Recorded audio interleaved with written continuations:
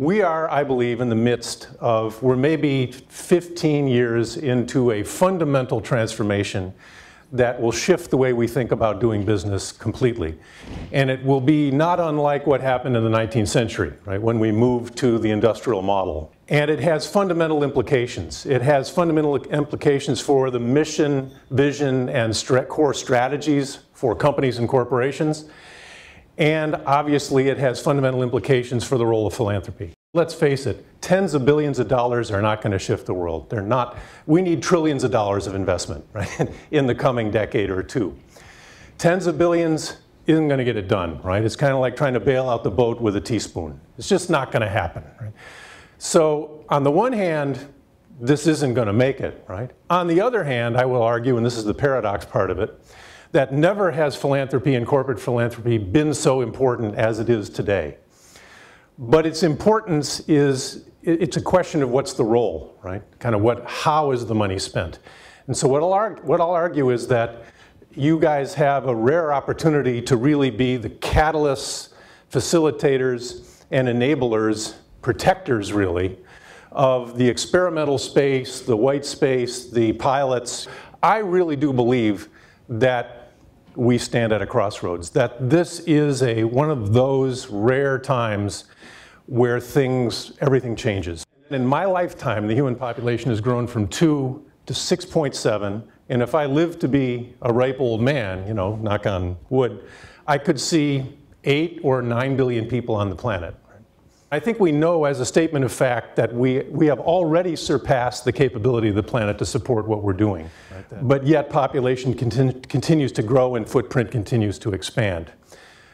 It's a collision course it's never going back the way it was. And unless we make some fundamental change in course, both environmentally and socially, uh, it's not a pretty picture looking forward. So it's time to really shift our thinking toward more inclusive models. That's really what the base of the pyramid way of thinking is all about.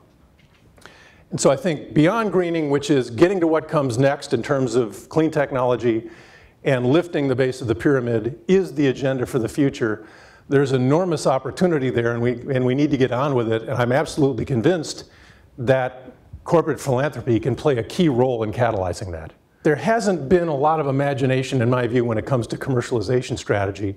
And there certainly hasn't been much attention in the clean tech community given to the two thirds of humanity that have been left out. Right? So to me, that's a blind spot. I think this idea of Green Leap, how do we marry clean technology and BOP strategies together, create this convergence and start by, by piloting and incubating new green technologies first in the base of the pyramid and then trickling them up, right? So the popular phrase these days is reverse innovation uh, or frugal innovation. You know, that, that I think is the way forward.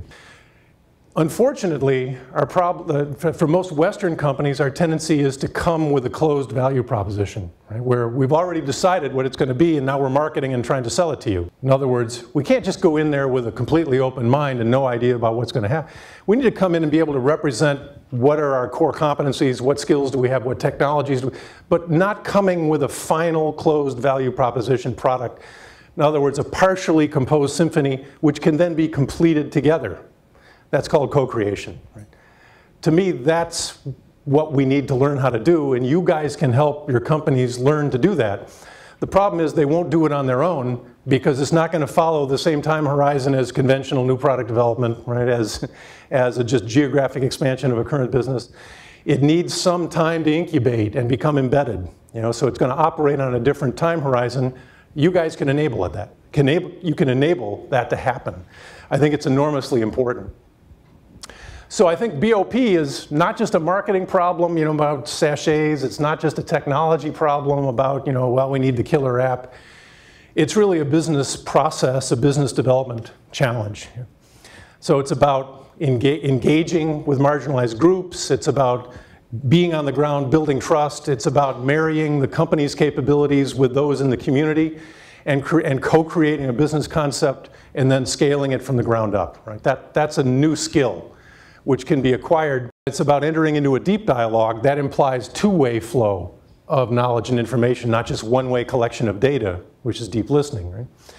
Where you could actually expand imagination and marry capabilities together to create businesses that and concepts that neither could have on their own right that that's where the competitive imagination piece comes in and the only way that happens is through establishing direct personal relationships you can't outsource it all to the ngos people from the company actually have to be on the ground right that that's what this requires that takes new skill once again we've already talked about that so I think, I think of this as embedded innovation. I think that's, it's hugely important as we move forward. I think you, you know, you're in a position to, to keep that safe. In other words, it's still philanthropic while at the same time really providing the learning, the experience, and the early capability and the embedding necessary for the business then to come in and really kind of take it, pick it up and run with it.